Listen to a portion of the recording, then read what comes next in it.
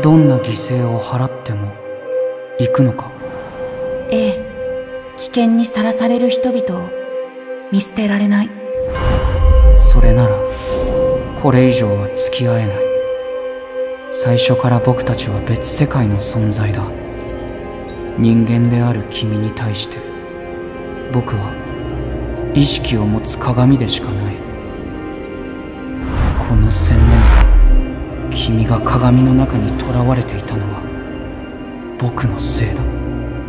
僕は君と一緒に仁義になって人々を救うと決めたんだ。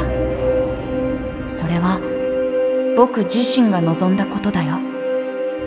千年間ずっとそばにいてくれた君は僕にとってただの鏡なんかじゃない。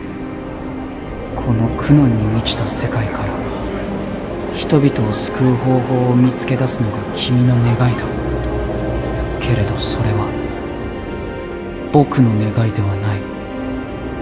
イン邪神は僕たちが叶う相手じゃない。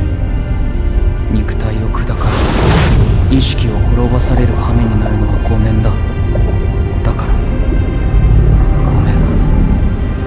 僕たちはここで別れよう。お互いの望みを叶えイン君と過ごした千年間は長い夢でしかなかったの。それが君の本当の願いなら僕は君を引き止めたりはしない。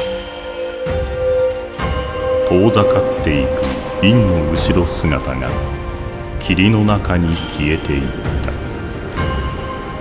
二人の運命が再び交差することはもうないだろう。